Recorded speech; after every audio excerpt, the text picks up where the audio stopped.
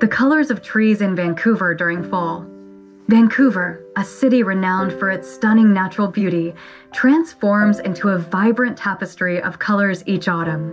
As the days grow shorter and temperatures begin to cool, the deciduous trees that populate the city's parks, streets, and neighborhoods showcase an exquisite palette of reds, oranges, yellows, and browns. This seasonal transformation is not only a visual feast, but also a celebration of the unique ecosystems that thrive in this coastal region. The transformation of foliage.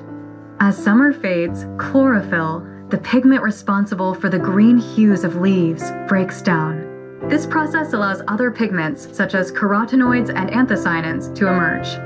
Carotenoids produce the bright yellows and oranges seen in trees like birches and maples, while anthocyanins contribute to the rich reds and purples of species such as red maple and Japanese maple.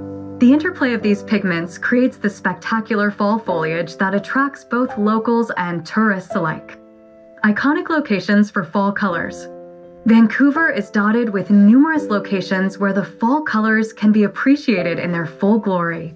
Stanley Park, one of the largest urban parks in North America, becomes a vibrant canvas as its numerous trees, like the western red cedar, big leaf maple, and black cottonwood, transform into shades of yellow and gold. The seawall, winding along the waterfront, offers stunning views of the changing foliage against the backdrop of the ocean and mountains, creating a picturesque scene. Queen Elizabeth Park, situated on Little Mountain, provides a different perspective. Here, the ornamental cherry trees and various shrubs burst into fiery reds and golds, framing the park's beautifully manicured gardens. The combination of vibrant colors and the park's elevated views of the city skyline makes it a popular destination for photographers and nature lovers during the fall season. The influence of climate. Vancouver's mild climate plays a crucial role in the intensity and duration of fall colors. The city's temperate conditions, characterized by wet winters and dry summers, provide an ideal environment for trees to flourish. The amount of sunlight, combined with cooler nights, enhances the production of anthocyanins, resulting in more vibrant reds and purples.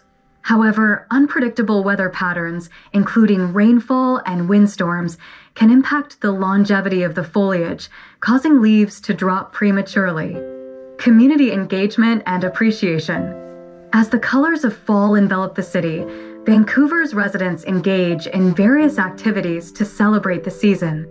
Community events, such as harvest festivals and guided nature walks, encourage people to immerse themselves in the beauty of autumn. Local schools often organize field trips to parks, fostering an appreciation for nature and environmental stewardship among children. Additionally, artists and photographers take advantage of the stunning scenery, capturing the essence of fall through their works. Conclusion The fall season in Vancouver is a magical time when the city's trees don their most vibrant attire, creating a breathtaking spectacle of color. The interplay of natural processes and environmental conditions results in a stunning display that resonates deeply with both residents and visitors. As people take the time to appreciate the beauty around them, the colors of fall remind us of the changing seasons and the cyclical nature of life.